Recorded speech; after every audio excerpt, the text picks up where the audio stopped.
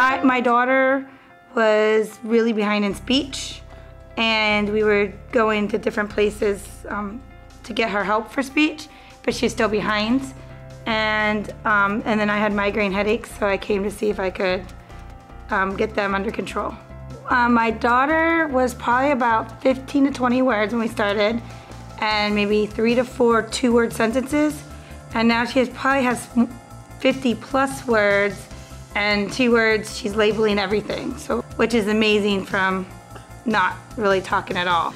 I um, I went to a chiropractor when I was little, and they did the whole entire back adjustment, and I didn't like that. My mom didn't like it. She ended up having to pull me out for other reasons. Here, with the torque release, they can just pinpoint the certain bone that needs to be adjusted, and it's just that bone, that area. So to me, it seems more practical because I'm not trying to manipulate everything, but only ma manipulate the problem areas. And I like that a lot better, especially with young children um, that they're growing and they're getting bigger.